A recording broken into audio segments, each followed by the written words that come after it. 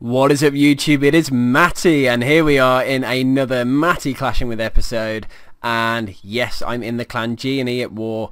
Um, must say another German clan so I um I've got to love the Germans I guess because I'm visiting half of Germany in, in, this series so uh, yeah huge shout out to these guys I mean um, to there's a quite a few players in here which are I've got a decent knowledge and um, and adapting to the three star strategies, which is great. Um, the, the the I suppose the main core of the clan, or the, the not not the core, sorry, but they what they what they do is accept a lot of um, lower level players. So you'll see they'll, they'll have some Town Hall 10s, some Town Hall 9s, and a few Town Hall 8s, and then they'll just accept a bunch of Town Hall 5s, 6s, and 7s, and even lower potentially, because it creates a little bit of an easier matchup for them which is fine, you know, if they're they're aware that they're they're, they're sort of learning or adapting into the three star strategies. So in that sort of transitional period of where they're becoming a war clan, um, they are opting to um, to get the war wins under their belt, which you know it, it is what it is. Um, so if we look at their war log, it's actually looking quite good, other than the loss to Hubris, um, which must have been close because it was 121 apiece. But you'll see 45 man wars. Um, with not a huge amount of losses in the actual log for him. So if we go back to the war before the one I was in, 131 to 19, you'll see Hall 10's 2-starred, a lot of the Hall 9's 3-starred, and basically getting huge scores on the board, which is quite interesting. Um, so let's focus on the war I was in. It was a, and, and I've got to say, you know, really sound guys, really open um, people who looking to, to learn um, and I, I did offer some advice on quite a few raids um, definitely one I'm going to show at least anyway. Um, I think there was two ra two raids I'm going to show today that um, I offered a little bit of input on. You know it's all about building and again users of clash caller so they get it they uh, call their targets so there is some form of organization within the clan um, itself and um, you know share and, working on each other with plans and that sort of thing. Although um, there are some people that just YOLO and uh, just go in without really thinking. So um, I would say they're at a transitional stage and they need to um, to get the core. If they're going to accept so many noobs, that's fine at the lower level. But their core needs to be strong, dedicated players if they want to sort of make it in the war community, shall we say. So um, but yeah, really interesting clan to visit, really nice. They're up for their 100th win soon as well, which is going to be pretty cool for them if they can uh, nab it. In fact, oh no, I was going to say it's uh, war day started, but um, let's go into the war that I was involved in. So 130 versus 90. Looking at the map, there were four Town Hall 10s, so one got away, um, one Town Hall 9. That may have an, an, available 135 stars, 131 being the target with four Town Hall 10s. They hit 130, so yeah, pretty good. But you'll see if we if we drop lower down to like number 24 um, out of 45, you're going to see a you know a, a low town hall 6. Moving on up to like number 19, I think we're moving into the town hall 7s. Yep. And then moving up to about number, I think 13, 12, 12 is the kick, um, the cutoff, I believe. Um, but yeah, great great job by the guys. The one thing I will also note is that in this war the enemy didn't fill a single CC, so no clan castle troops, which is a huge advantage. Um, so yeah, yeah, um, they they didn't even, and you can see a lot of the attacks. I mean, they only used like 40, um, 45% of their attacks, the enemy, and uh, we used say two thirds, um, or just over. So uh, yeah, a lot of missed attacks as well. But hey ho, still a great, um, still it was still a really nice experience and a really good group of guys. So uh, first up we're going to show number 14, Rafa. Um, he's a town hall, I'd say 8.5. He's only, only, only just gone town hall uh, 9. Hasn't even had a chance to upgrade his hogs yet. Um, so still sort of weighted and considered a town hall 8 for most part. Um, only bought three spells and you can see um, with his uh, poison as well um, taking on a Hall 8 so he's, he's almost I'd, I'd, say he's pretty much there on Hall 8 um, but let's have a look at the attack anyway because it was um, it was a good one. So you can see you'll you'll see that he's got his um, base knowledge down his um, specific placement on his wizards is creating the funnel. A um, little bit of advice I would start from the outside inwards um, when I'm doing the funnel to make sure that the uh, the outer layer goes down first so that when your king goes down your queen goes down they go the right way. Um, also, I normally try to offset the uh, the golem from the wizard tower so that it doesn't have a risk of splash damaging the wall breakers. Unfortunately, the wall breakers just went AWOL and uh, they, they were I don't know what the hell they were doing, but uh, he was trying to break in. Add a PEKKA in there as well, which is a good call actually for a Hall 8. Um, Hall 8 on Hall 8 should we call it because it adds that little bit of extra DPS in um, to go and help take down the base and watch this while the core is distracted, while um, a lot of the defences are um, not focusing on the Hog Riders, um, he's got them down already. Put the heal spell in, a really nice placed heal spell as well. It's going to keep the Hogs in it for pretty much the whole duration of it. They're going to carry on moving through the base and then looking at the second heal spell placement which is coming soon um, nice waiting on the timing as well, so you can already tell this guy gets it. Um, I'd have placed the heal spell slightly higher just so that they're in for the Wiz Arch tab, but it really didn't matter. And the guy walks away with a swag heal spell, so sick attack. Yeah, just knows his stuff. Um, and it's always good to see an attack of this um, when when you can walk away like that in with the extra heal spell. So um, great attack. Moving on through to number 12, was it? Skiller. He's the man. Let's have a look.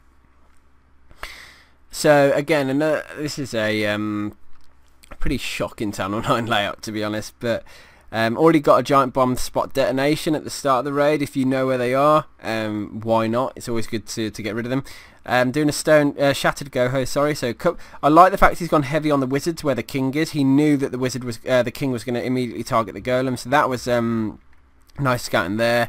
Dropping the uh, wizards down to create the uh, to start taking down the outer layer. The golems moving in, king and queen going in. There's no chance of walking here. Not, the funnel's been perfectly created. There are a couple of things I would say to improve on that could have been improved on this raid. The jump spell was very late. Should have got the jump spell down a lot sooner. You'll see. So he's he's, he's pretty much taken down this whole compartment. You see the hogs are already going in from the one side, so they're going to flank and. Um, He's already he's got Giants down to distract as well, but he's basically coming in from the whole of the, the, the 9 o'clock side, all the way, basically the entire eastern side of the base, going down while the kill squad are moving in, so perfect timing as well. Now, could have got the jump down a bit sooner, but I suppose he was focusing on getting the hogs in, because by the time the hogs have got to the core, the Queen's just able to start hitting the town hall, and now the raid's basically over. Um, didn't even need that heal spell, could have just swagged that one away, and um, yeah, really nice um, nice understanding, I would say, because he knew he got the funnel right, got the wall breaking right, got the uh, the kill squad element of the raid right, and the hog drop. So nicely done, put together. Um, good raid. Can't can't fault it. Um, apart from the late jump.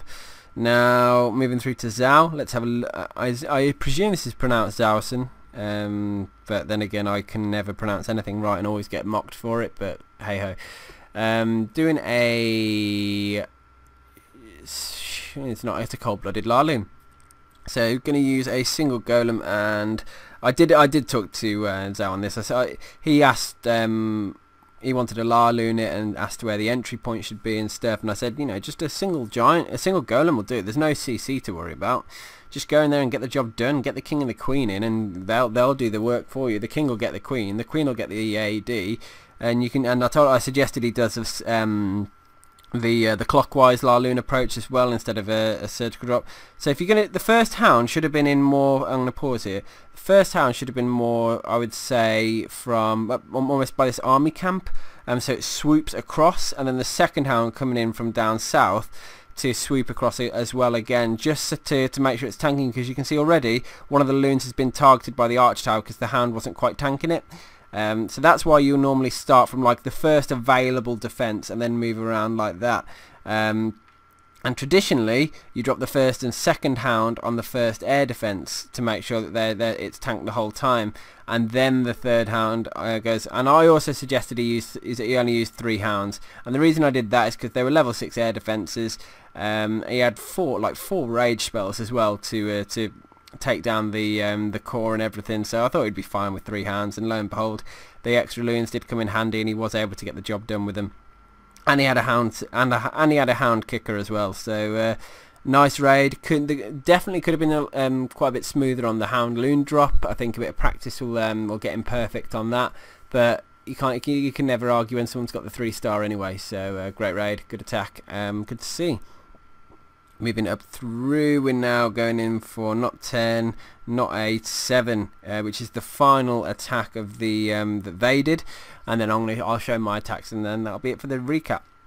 Drop the max attack and I'm going to say this now this was a really clean really nice max attack. I um, I watched it back and I thought perfect um, got it all right so you'll see here, Earthquake down, opening up all the key compartments he wanted to do, allowing him into the X-bows should his kill squad allow him to push in that far.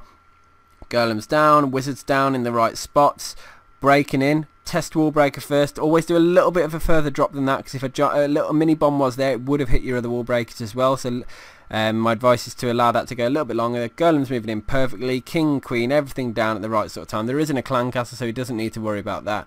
Um, Got the rage and the heal for the kill squad as well. So all the traditional um, elements of the max attack, um, it's all working nicely so far. Rage spell down was, a, I think, an appropriate time, a timing and position. Uh, got the Golems rushing up front. Quick King going up front as well, which is nice. He's going to drop his ability soon. Um, heal spell down. It's all work. It's all just nicely done so far. I'm, I'm, I'm impressed. And uh, you're going to see here soon, his, his queen's in a good spot. She's going to carry on taking the buildings down and as soon as he's done the ability all he's got left to do is do the Laloon portion. So first hound I'd say coming in swooping in from across and it does which is perfect placement. Um, dropping the loons as the defences get distracted I'd say, yeah, I was going to say start doing your other loons now. Second hound should have been that little bit lower onto the um, first air defense. Definitely always put your first two hounds on the first, because now look, the air defense is taking down the pups and then it's going to take down the loons. Um, and then throw your third air, um, th th hound in on the final air defense. So I think it was just a slight miss drop on that second hound. I don't think he intentionally did that, but that's fine. Um, and you'll see that the uh, the X-bows are down. The the the base is wrecked. If that hound pops, that'd be Oh, look at that. I love it when that happens. Popped on cue. And there you go. Max attack delivered to perf almost perfection and a very nice raid.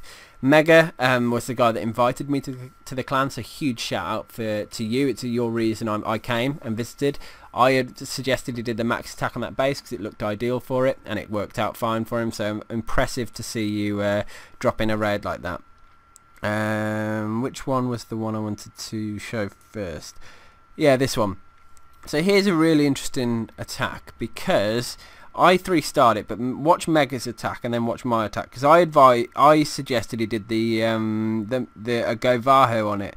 It looked like the perfect base for me, I'll show you in a second. Let me just um I've got to go find his raid. Bum ba da ba going through. There it is. Okay. So I saw uh, my idea was if you drop a couple of golem, one golem down by the bottom defences here, the wizards can take down that outer layer of defences. Same on the other side. Break in the middle, jump over the mortar, um, Valkyrie's heroes into the core, gut the core, and then just hog the top side of the base. A um, couple of giants down, hogs onto all those point defence, and you've got yourself a three star. It looks quite straightforward. Um, that was my thought on it. I drew a little sketch for him and he, he delivered it well. The thing was the timing, and you'll see that. Watch how it just doesn't quite work for him. Now, particular, um, I think uh, the the fails that I noticed on it, or the the mistakes I noticed on it, we'll watch as we go through. One was the heal spell timing. So let's watch the start. So a couple of golems in, all the defense is distracted. Look, needs his wizards down. I'd have dropped them a lot quicker than that, so the golems are already starting to take the damage. Um, but I said don't break in until the defences are going down. That's the point here. Look, unfortunately, the top one of the wizards got um, sorry, one of the wizards got taken down. But then he's going to drop a giant down by the cannon to distract it, and then uh, um, wall breakers to break in. And I thought the golem should redirect. That was my point. Um, that's what I thought would happen because the defences they're targeting are no longer there. So I'd have dropped it a little bit sooner, to be honest, um, the giant down, because as soon as those cannons are gone, you can allow the golems to redirect those um, sort of flanking cannons on cannons on either side because that was the the issue. If the golems redirected, the the um, the wizard towers would have got killed. So the giants down, the wall breakers are in, everything's going nicely. Golem one golem redirected, one golem didn't, which is always annoying. Valkyrie's in. Here's the first mistake, I think. Heal's down now. No need. The Valkyries aren't in danger. And the problem is you've got quad Teslas in the core. And the point for the heal spell for these was to keep them alive while they take that, gut the core. The whole purpose of this raid is to gut the core of the base because the, the, you haven't got many hogs. You've only got 15 and they need to just take down those top layer defences and then be on cleanup. That's the point.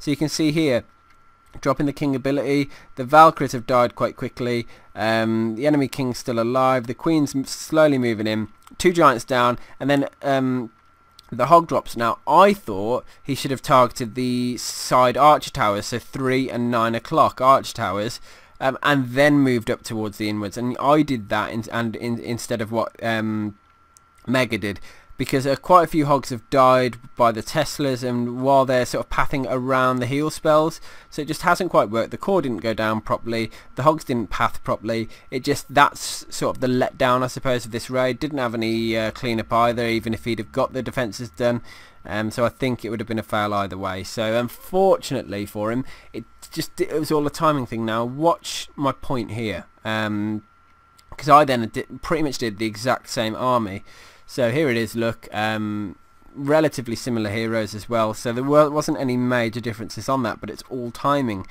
So let's, I, I pick, I do one side at a time, but the exact same sort of golem drop look. Golem, wizards, other side, golem, wizards, um, same point look. Now what what I did as soon as the cannon went down, I um I then would have dropped the giant and the wall breakers to break in. So I'm just letting one wizard's on a cannon now, which is great. Other wizards are moving forwards. Giant's are already down, look. Now I'm just going to wait. I'm waiting for that cannon to uh, to take enough damage to for me to warrant dropping the wall breakers, and I'm in. Golem should have redirected now. There is an arch tower that hasn't died, uh, which needs to die, so uh, I'm hoping the wizards are going to go in and get it. Um, otherwise I'm on my own. Golem then decides to redirect, which is perfect. Other Golem goes up north, and he's just cannon fodder but the Valks are going in the jump spell in the exact same spot. Now watch, I'm waiting on the heal spell this time. So waiting, waiting. Valks are now starting to get hit. I'm still waiting. They're moving into the core now. Heal spell all the way over those Teslas. Oops. Um, King's going in now and they're all under heal. While that's happening, while the core is distracted, Giant in Hogs targeting the first Arch Tower and then the other defences. Giant in Hogs targeting that first that flank arch tower as well. Then Hogs coming in the north side. Later heal spells and just watch here. So I'm just being very cautious on my heal drops, making sure I can make the most out of them. And just look, the Hogs are now coming into the core to help out. The pathing's made that they're they've been super effective and got wizard cleanup down already on the right hand side.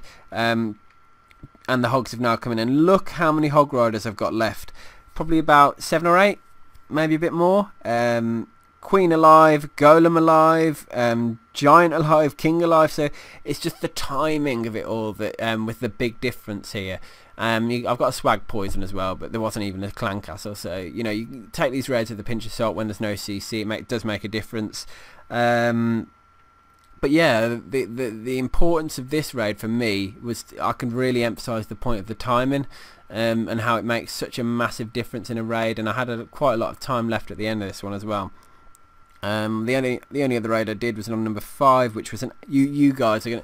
The only reason I'm showing this one as well is because it's bloody funny. Um, look at this base. So this is a fresh hit from me. Um, looking around, I couldn't see any double giant bomb spots. I was like, where the hell are the giant bombs? There's like ten places they could be, so I didn't try too much to guess. But what I thought was, with the air defense positions, you can see the cannon at 12, at 3, and the sorry, the arch tower at 12 and 3, and the cannon at like 130.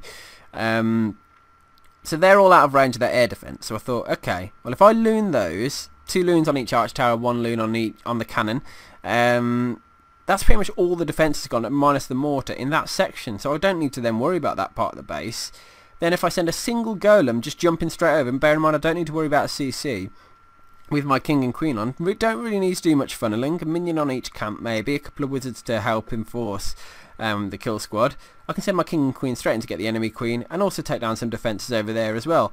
So then I've only got this sort of bottom section in the core of the base and with three heal spells and 32 hog riders.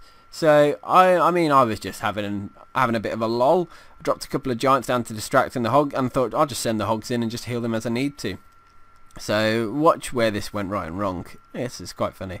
So I dropped a, a couple of single barbs down to distract the arch tower for a second, just in case it was like a seeking air mine there and I needed to rely on uh, one loon or something. Um, but I didn't need to, It's fine, there was no traps there. So the um, I got a bit of extra added value. Look at my loons. My loons have gone all the way through to the mortar and taken that mortar down, which I didn't expect. Minion on each camp to funnel, golem down. I think I drop a couple of wizards as well. Jump straight in, look. Um, queen, king, all them in. Doesn't really matter. They can just go over there. And even if there was a CC, I could have used a poison and just taken it down um, without much effort really. As long as the queen went down in a defence maybe, I was fine. So at this point in the raid, all I need to do now is just hog the rest of the defence. I wanted to get the arch tower down because I thought that could start hitting my queen or something. So send in like half the hogs now. And they're going they're going nicely. They're moving into the core, which is what I wanted. Um, start heading into the core, drop the heal spell down, spell down. Look, because defences are, are distracted, it's making my life a little bit easier, which is the key point about timing. Now I thought those hogs would get that cannon. Now because there was a spring trap, which I barely noticed, um, yeah, they just died. They, they, they went into insta-death. So I thought 11 hogs left, so I just spammed them into uh, to the final, um, to that cannon to just go and reinforce and help out. And look here, I've, I've got like 25 hogs left or something absolutely insane. I'm like, I've got a heal spell, don't need it, I'm not going to even bother. So I'm like, I've absolutely destroyed this base now. Um, but where are the giant bombs? I was like, what? Uh, where, where, are they? Because I've got loads of hogs left. I haven't really encountered any giant bombs. So anyway, the hogs start going on cleanup. Watch it. watch this. This this is bloody typical. Giant bomb one. Oh, giant bomb two. Oh, drop my heal. Oh no, I've just wrecked my entire cleanup. Didn't even use the other giant. So now a raid where I was going to have like 40 seconds remaining it's going to be down to the wire. And when I say wire, there was like one second left on the timer. So it came down to the proper wire. An extra giant bomb as well took down my final hog just for just for giggles. And the troops got spring trapped. So traps have absolutely destroyed me. Now if this was a cleanup attack, I could have sent in a one or two hogs and tripped all those giant bombs. Um, at the start of the raid when I, once I dropped my loons down. So for a cleanup it would have been the easiest cleanup in the world. But for a, just a surprise factor, this bait, this raid completely threw me off. So uh, very funny. Unfortunate. Luckily, my wizard, the wizard clutched it and got me the hundred percent. So a couple of cleanup wizards there did me the world of good. Um, and yeah, I was able to take down the two top town hall nines. So um, town hall ten attacks were, were, were nothing to um, nothing to scream about. But the point of this video, I've had a, had a really good time with this clan. It's a shame they, they didn't fill the CCs. I'd have liked a bit more of a challenge um, on the Town Hall 9 level. Um, got to see some good, some decent decent enough attacks though. Um, and yeah, thank you for having me guys. I hope you enjoyed my visit and let me know what your thoughts were in the, the comment section and I'll catch you guys later. So yeah again if you want me to uh, visit your clan I have got a schedule that's taking me to about mid-November now. Um, ridiculous I know. So just let me know in the comments guys. Hope you enjoyed. Peace out